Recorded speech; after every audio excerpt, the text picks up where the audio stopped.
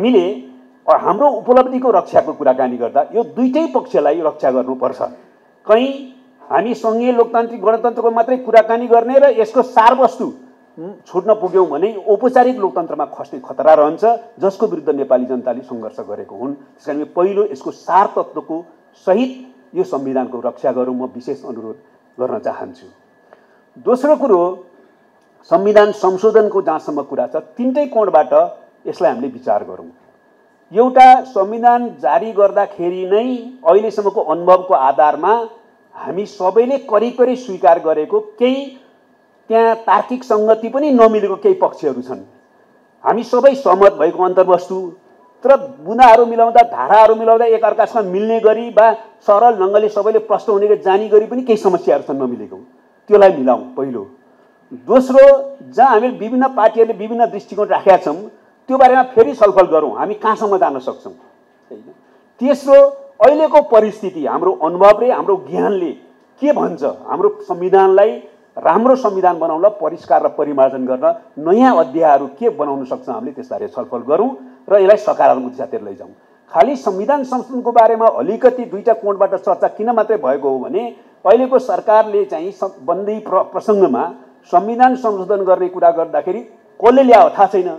त्यो संविधान के यो सरकार निर्माण गर्ने हस्ताक्षरको पत्र सँगसँगै संविधान संशोधनको एजेन्डा भनेर जो बाहिर ल्याइदियो नि त्यसले विवाद उत्पन्न गरेकै हो। अहिले सरकारले र सरकारमा रहेको पार्टीहरूले स्पष्ट गरिसकेको छ हामी समावेशी समानुपातिक यो पक्षहरूमा हामी पछाडि हट्दैनौँ भनेर भन्नुभएको छ। त्यसो भयो भने हामी कसरी अगाडि बढ्ने परिमार्जन र विकास कसरी गर्ने अहिलेको उपलब्धिहरूलाई कुनै पनि हालतमा कुनै पनि कोणबाट कुठाराघात नगर्ने गरी यसको परिमार्जन र विकास गर्ने गरी साझा सहमतिको आधारमा संविधान संशोधन गरौँ भन्ने कुरामा हामी प्रष्ट छौँ र त्यसमा हाम्रो सबै सहयोग रहन्छ।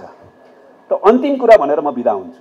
त्यो के हो भने यसको रक्षा गर्न यो उपलब्धिको रक्षा गर्न तेस्रो कुरा नभइकन हुँदैन। यसमा चाहिँ हामी सबैको ध्यान जान जरुरी छ। मतलब यो युगान्तकारी राजनीतिक परिवर्तन त हुँदै हो। तर युगान्तकारी राजनीतिक परिवर्तन जुन पैमानाको जुन आयामको भयो त्यसमा अन्तर्निहित नेपाली समाजको अहिलेको आवश्यकता अनुसार र नेपाली जनताको अपेक्षा अनुसार हामीले सुशासन र सामाजिक आर्थिक रूपान्तरण विकास र समृद्धि गर्न सकेकै सकेनौँ। हामीले यो राजनीतिक परिवर्तनबाट नेपाली जनतालाई राजनीतिक अधिकार मात्रै होइन शिक्षा स्वास्थ्य रोजगारी खाद्यान्न आवास बाटोघाटा सूचना सञ्चार बिजुली खानेपानी जस्ता आवश्यकताहरू पुरा गरेर नयाँ जीवन दिन सकिसक सक्यौँ सकेनौँ। भन्ने कुरा हेर्नुपर्छ। त्यस कारणले पिस डिभिडेन्ट शान्ति प्रक्रियाको लाभ जनताले पाए कि पाएन डेमोक्रेसीको डिभिडेन्ट जनताले पाए कि पाएन त्यसको आधारमा यसको रक्षा हुन्छ कि हुन्न भन्ने भर पर्छ। त्यस कारणले हामीले राजनीतिक रूपले प्रतिगमन मुर्दाबाद भनेर प्रतिगमन विरोधी सङ्घर्ष त हामीले गर्नै पर्छ यदि हुन लाग्यो भने त्यसप्रति सचेत हुनैपर्छ तर प्रतिगमन मुर्दाबाद भनेर मात्रै यो संविधान र लोकतन्त्रको रक्षा हुँदैन। यस लोकतन्त्र रक्षाको रक्षा गर्न संविधानको रक्षा गर्नको लागि मुख्यतः यस मार्फत नेपाली जनताले जो सामाजिक आर्थिक क्षेत्रको रूपान्तरण खोजेको विकास र समृद्धि खोजेको आफ्नो जीवन फेर्ने अनुभूति गर्न खोजेको त्यो गर्न सक्यौँ भने जनताले यसलाई बचाउँछ।